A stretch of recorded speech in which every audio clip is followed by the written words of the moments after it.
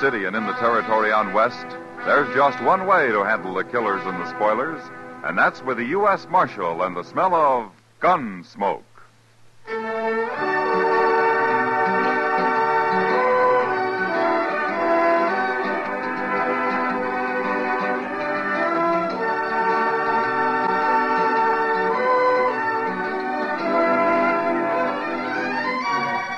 Gunsmoke, starring William Conrad.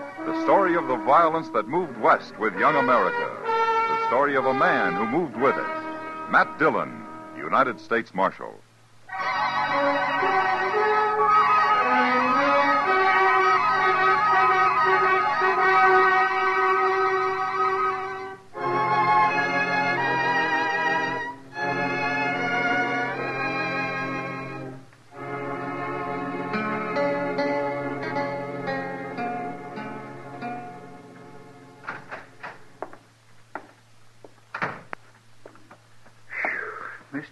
Dillon, I never saw a street like that. Huh?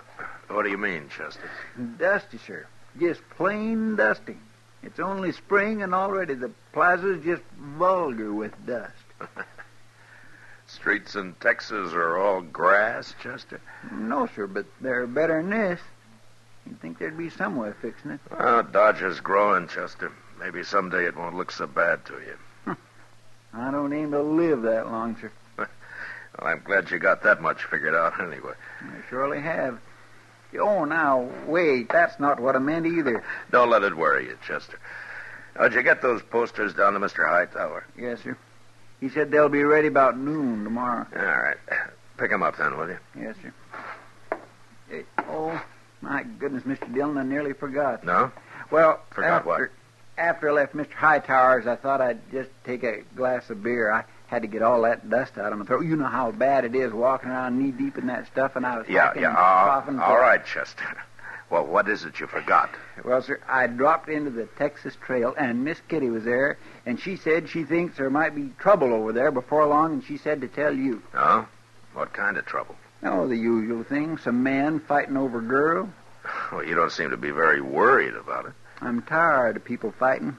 I wish they'd all just go away somewheres and kill each other off and have done with it. That'd be fine as long as they don't do it in Dodge. Well, come on, Chester. Let's go over and see what it's all about.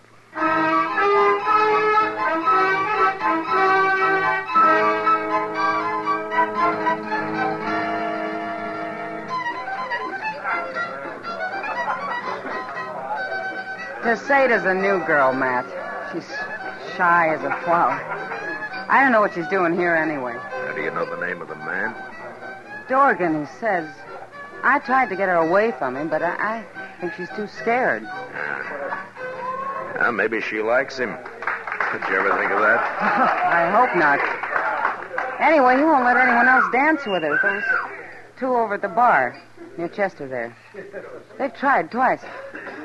I know one of those men. The tall one. His name's Horn. Who is he? Yeah, he's a gunman. Pretty fast, too, so I've heard.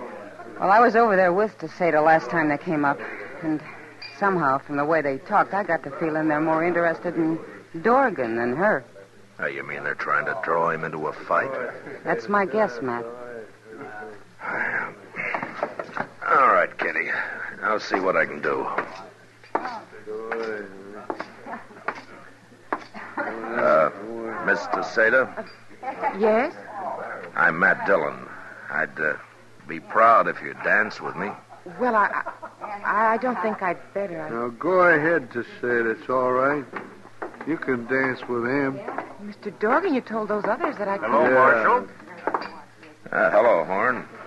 This here is Watson. Howdy, Marshal. How are you? Uh, what's on your mind, Horn? He just wanted to let you know, Marshal, if there's any trouble here, we ain't responsible. Leave me alone, there won't be any trouble. All we want, Marshal, is our turn with the girl here, and Dorgan's had her hogged the whole evening. And that ain't fair, and that's all. What's funny, Marshal? You sound like a man at a church social. I'm trying to be peaceable about it, that's all. I've seen you when you didn't try, Horn. What are you looking for? An excuse to work this man into a gunfight? Yeah, he sure is, Marshal. I ain't gonna take much more from him or Watson either. What's the real trouble between you? Uh, there's no trouble, Marshal. We just want to dance with that girl. That's all. Mm-hmm. You want to tell me, Dorgan? Nothing, Marshal, nothing. All right. Tacetta, Yes, sir. Uh, go over there and sit with Kitty, will you? Now, wait a minute, Marshal. Tacetta's my girl. I've been buying her drinks. She's staying right here. Go ahead, Tacetta. Go on over with Kitty. I, I don't know which one. You just go, Tacetta. Nobody will stop you. Well, all right, then. Thank you for the drinks, Mr. Dorgan. Go on, beat it. Chester, You got a great way of handling things, is all I can say. What is it, Mr. Dillon? take their guns, Chester. Oh, no, you don't. Shut up, Watson. Well, you going to let him do that? We ain't looking for trouble. Uh, you're smarter than I figured, Horn. Uh, am I, Marshal? Get him, Chester. Yes, sir. All right. All right. Your guns will be at the jail. You can pick 'em up in the morning when you leave town. Leave town. All three of you. Good night, gentlemen. Taking his gun from a man like Horn was the fastest way in the world to get him out of the saloons and off the streets and behind cover somewhere. There were too many men who might show up out of his past and suddenly make their claim on him. And Horn was the one that really mattered. Neither Dorgan or Watson looked like real gunmen. So I thought I'd been pretty smart. Till the next morning. I was just crossing the plaza when I ran into Kitty and Chester. Matt. Matt. We've been trying to find you. Oh, what's the matter, Kitty? It's Tacetta. I don't know where she is. What? I looked in her room this morning and she'd gone. Nobody's seen her anywhere. Oh, maybe she went out to buy some clothes or something. Oh, she was afraid to go out alone. I always had to go with her. I just know something's happened to her. Oh, like what? Dorgan. He was real sweet on her, Matt, and I don't trust him at all. Oh? Dorgan come by the office real early, Mr. Dillon. I gave him his gun, and he vamoosed. He was in a big hurry to go someplace. Well, I told him to leave town this morning. Well, you didn't tell him to take Tacetta with him. Uh, did they get back together last night? Sure. Just as soon as Horn and Watson left. I couldn't stop it. I see. Uh, tell me, Kitty, can she ride? Oh, no. I asked her to go out with me once. All right. There was a stage west this morning. Go see if they got on it, will you, Chester? All right, sir. Kitty, if she did leave with Dorgan, maybe it's because she wanted to. Oh, maybe. She wouldn't say anything about him last night, one way or the other. I told you I think she's afraid of him, Matt, but even if she did want to go, well, she isn't his kind, that's all. Well, that may be, Kitty, but it's not the law's job to chaperone every girl that hits Dodge. What if she didn't want to go, Matt? What if he forced her to? Now, that'd be different. A whole lot different. You bet it would. They was on him, Mr. Dillon. The agent described him exactly. Left an hour ago, right on time. I knew it. I knew it. Uh, will I get our horses, sir? No, no, wait a minute, Chester. Dorgan might put up a fight, and if he does, we can't shoot around that girl. Well, then how can you stop him, Matt? Well, somehow I don't figure Dorgan is a really brave man. I think we can bluff him. He might try to fight two of us, but if there were more, say, maybe a dozen men, well, You mean we'll take a posse? yeah, well this time it might just work, Chester. But I'll pick 'em. Men I can trust not to do any hasty shooting. Uh, Chester, you go round up uh, Arnold Winters and uh, uh, John Kemp, Marty Walter, and Bob Gast, and uh, I'll get the rest of 'em. All right, sir. And them we'll all meet at the jail in 20 minutes.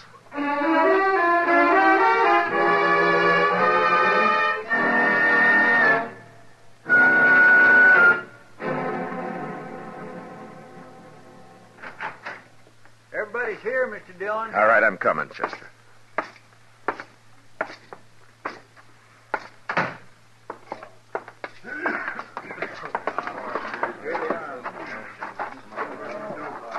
Hi, Matt.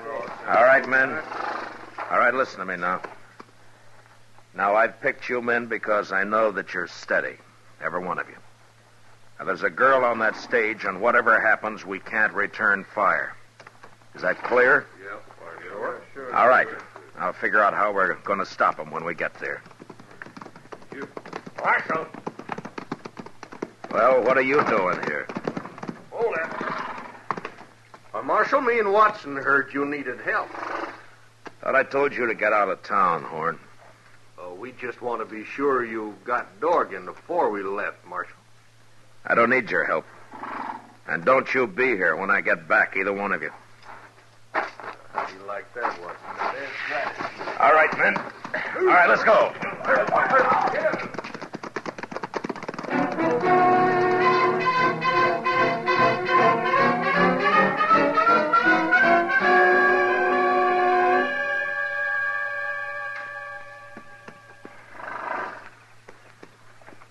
Coming, Mr. Dillon. All right, Chester.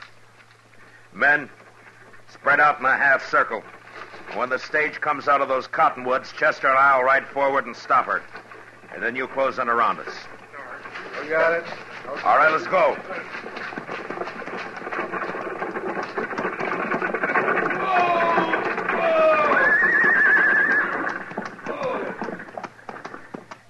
What's the matter, Marshal? It's all right, Jim. I just want to talk to a couple of your passengers. You, Dorgan. Come on out. You try anything to say to be right in front of me, Marshal. I figured that, Dorgan. Come on out anyway. All right, to say to get out.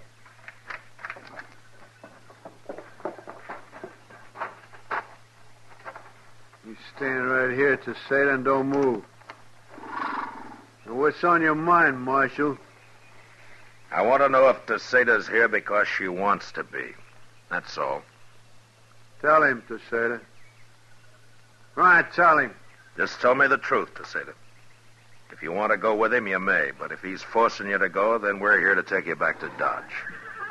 You wouldn't want her death on your conscience, would you, Marshal? Oh, no, please don't kill me. I'll tell it. I. I came because I wanted to. There. That's a good answer, to say, Tacetta. and go on back to Dodge and leave us alone. I guess you didn't hear the same thing I did, Dorgan. I'm warning you, You haven't got a chance. How long do you think you can use her for cover? Now, I got 12 men here, Dorgan, and we'll follow you from here to California if necessary. Isn't that right, men? And if she should get killed, I'll just let you imagine what we'll do to you. Now, you drop your gun belt right where you are and step forward. And do it now. All right, get his gun, Chester. Yes, sir. All right, one of you men get rid of your guns and put Dorgan up behind you. Mr. Dillon, what are we going to do with Tacetta? She can't ride anyway, especially in those clothes. Well, the Bledsoe place is a couple of miles from here. Uh, go over there and borrow their buckboard, Chester, and for your trouble, we'll let you drive her back to town. Yes, sir. My. Well, you wait right here, Mr. Seda, and I'll be back in no time at all.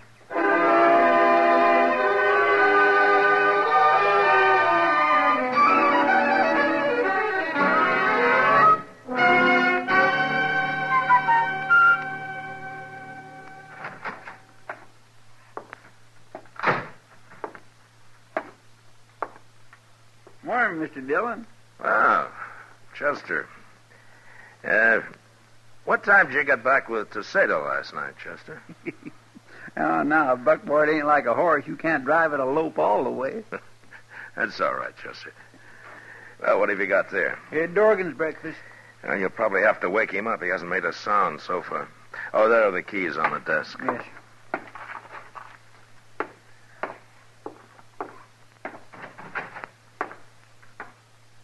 Dillon, Yeah? come here, quick. What? Open the cell, Chester. Hurry. He might still be alive. I got a knife. All right. Cut him free. I'll hold it.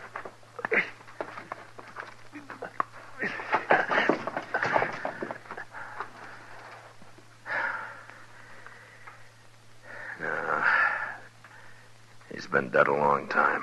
Now, who'd have thought he'd go hang himself? He didn't, Chester. What? There's no rope in his cell. Somebody called him over here to the window, knocked him in the head and slipped the rope around his neck and tied him tight to the bars. This isn't suicide, it's murder. Horn. Horn and that fellow Watson, they did it. Well, they're the only ones I know who've been wanting him dead. Will we go arrest him? Yeah, they just go free again. I got no evidence the court would accept. I'll bet those two don't think any more of strangling a man than shooting a wolf and throwing his skin over a fence. Yeah, they're killers, Chester. But right now they got nobody to kill. Except maybe me.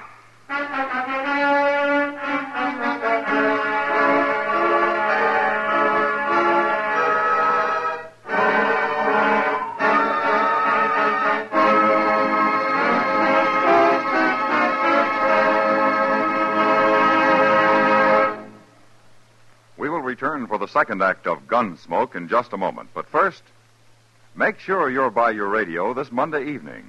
For CBS Radio's Monday evening dramatic shows, the Lux Radio Theater and Suspense are putting on two of their top shows of the season. Suspense has a new writer, William Shakespeare by name, and they're staging his wonderful tale of love, vengeance, and murder, Othello, with Richard Widmark as the star. And our Lux Radio Theater is bringing you the charming nostalgic story Wait Till the Sun Shines Nellie with David Wayne and Jean Peters in their original movie roles. It's a date Monday night. Suspense and the Lux Radio Theater on most of these same stations. Now the second act of Gunsmoke.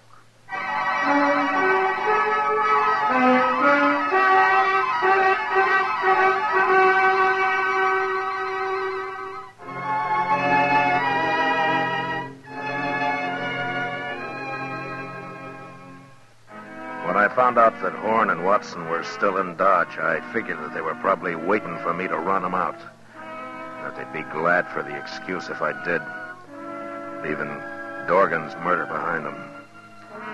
Instead, I did nothing and I said nothing, hoping it'd sand their nerves some.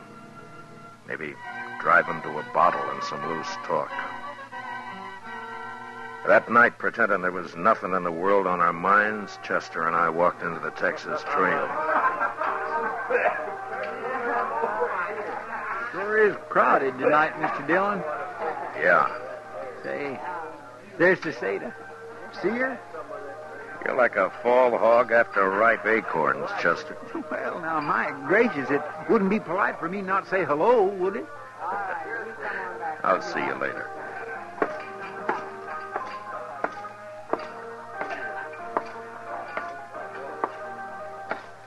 Uh, that fellow who just left, is he coming back, Kitty? He went broke. Sit down, Red. Uh, You drinking? no, not tonight. Oh, expecting trouble, huh? Yeah, maybe. Look at Chester and Tacetta there. I sure wish this place were quieter. I'd give anything to know what they're saying. It may get noisier. What? Look over there. Watson just came in. Oh. Say, he's drunk, Matt. He's real drunk. Yeah. He's just going to start trouble again. Look, he spotted Tacetta. I don't see Horn. Oh, Horn hasn't been in tonight. I said I was going to dance with her. You're a local drunk, Watson. Get out of here and leave the lady alone. What lady? You take that back. Matt, Are you from Texas, mister? Yeah. Yes, I am. Well, now, if I was from Texas, I'd certainly keep it to myself. You're wrong, Watson. There's a lot of good, decent people in Texas. Maybe, since you left. It's a wonder you can even get a woman like this. Don't you be judging the people of Texas. Matt.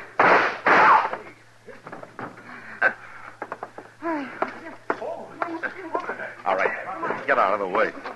Let me through. Here. Wait a minute. He, he drew on me, Mr. Dillon. I was only going to fight him. I didn't think he'd draw. Everybody saw it, Chester. He had his gun out first. I shot him twice. He didn't even fire. How come he didn't kill me? Now take it easy, Chester. Tacetta, go get him a drink, will you? Yes, sir. I'll do right away. Uh, Watson. Uh, Watson. Little Texas fella. He shot me. Watson. Watson, listen to me. Did you strangle Dorgan? Dorgan. We killed him. Me and Horn. Right in jail. There it comes.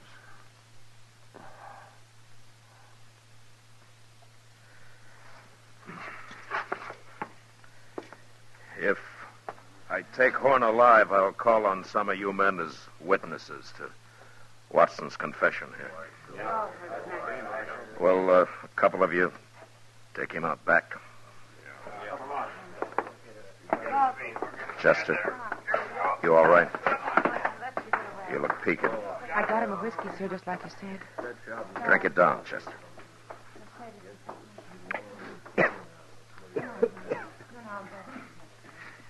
Mr. Dillon? Yeah. Mr. Dillon, if he hadn't have been drunk, I couldn't have shot him. Well, that may be, Chester. But don't forget one thing. Drunk as he was, he drew to kill you. If you'd given him another second, he would have. You had to shoot him. It was self-defense, pure and simple. Yes, sir. That's sure true, but I. Now, you stay here for a while. I'll be out in the plaza. Tacetta, get me one more drink.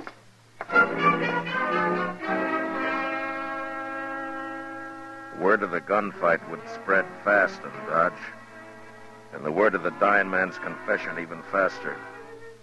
Wherever Horn was, I knew he'd hear about it. And since he was a gunman of an entirely different breed from men like Watson and Dorgan, it could be depended on that instead of running, he'd shoot it out with me. It was a simple matter of vanity, and there was no way to stop him. The only thing I could do was wait. Expectantly, the plaza cleared. But before Horn showed up, Chester came out of the Texas Trail and walked over to me. Mr. Dillon, Are you all right now, Chester? I'm fine. But say, I just heard that Horn's gone and got himself a shotgun. Now, is that so? You can't meet him like this. I'll go get you one out of the office. No. But, Mr. Dillon, a shotgun. I know. But if Horn's done that, he's lost his nerve. It means he can't face me any other way. Yeah, but you haven't got a chance against a shotgun. Well, we'll soon find out. There he comes. Oh. He does have a shotgun, Mr. Dillon. All right, get off the street, Chester. I don't like to leave. Go you- on. Yes, sir.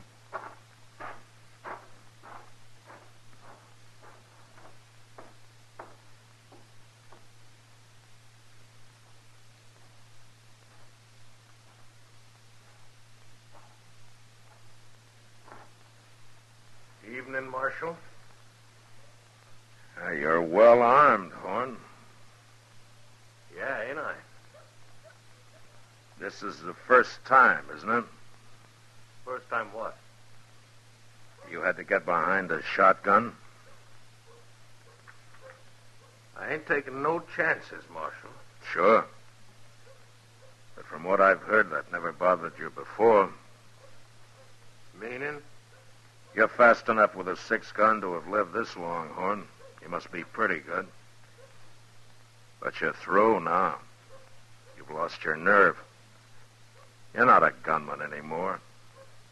You're just ordinary dirt common. That's enough of that. I could find a dozen men like you in any saloon in town.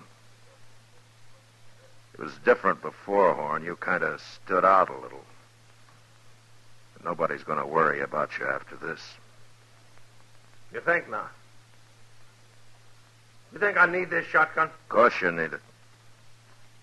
Everybody can see that. I ain't scared of you, Marshal.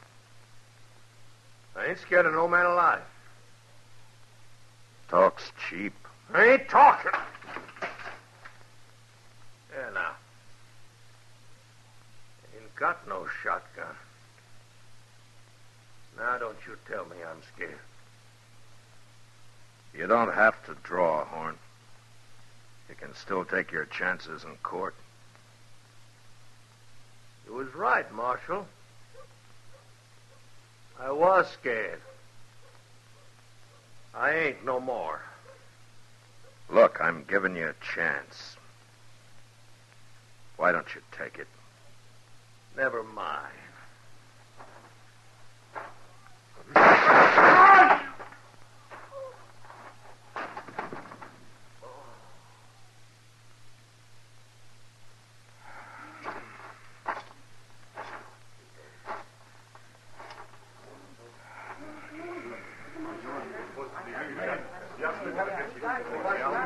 You all right, Mr. Dillon?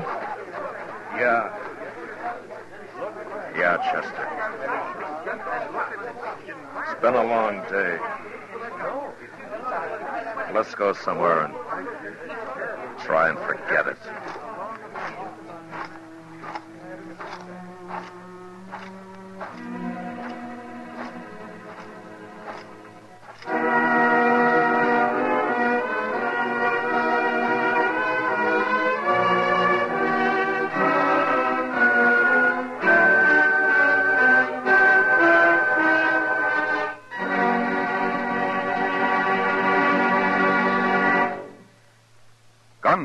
Under the direction of Norman MacDonnell, stars William Conrad as Matt Dillon, U.S. Marshal. Tonight's story was especially written for Gunsmoke by John Meston, with music composed and conducted by Rex Koury. Featured in the cast were Tom Tully, Lawrence Dobkin, Paul Dubov, and Lillian Buyeff. Parley Baer is Chester, and Georgia Ellis is Kitty. Gunsmoke is heard by our troops overseas through the facilities of the Armed Forces Radio Service. Join us again next week as Matt Dillon, U.S. Marshal, fights to bring law and order out of the wild violence of the West in Gunsmoke.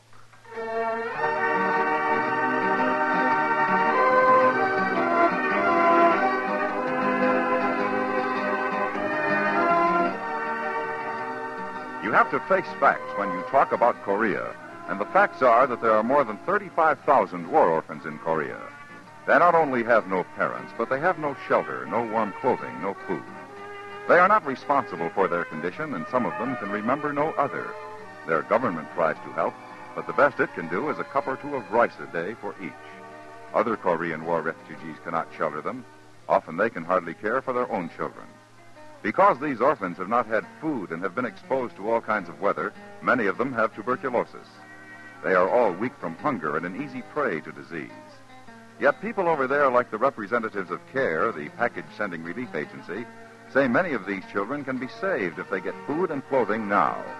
CARE has stockpiles over there. An order or contribution will send them to those most in need. Package delivery is guaranteed. To save the kids of Korea, send a contribution to your local CARE office or to CARE New York or CARE Los Angeles. Some people wake up like this. And some people wake up like this. Come on, you lazy bum. Get out of that sack. But nine million people prefer to wake up to music, to a breakfast symphony, a popular singer, or news. Because nine million people have clock radios that turn themselves on in the morning. How do you like to wake up?